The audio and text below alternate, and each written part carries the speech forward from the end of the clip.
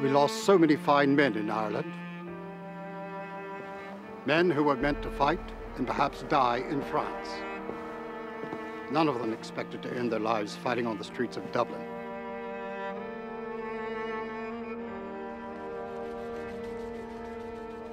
Over six days in April 1916, Dublin was gripped by rebellion that left the city in ruins and hundreds dead.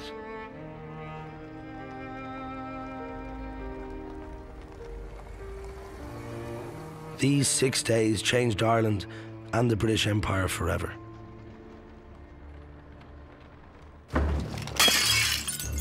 The Easter Rising is shrouded in myths and legends.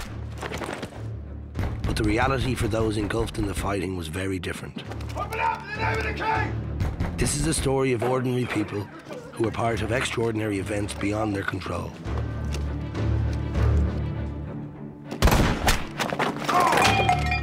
Is a tale of two key battles fought on either side of Dublin City that Easter week. Told through the eyes of soldiers from both sides of the conflict.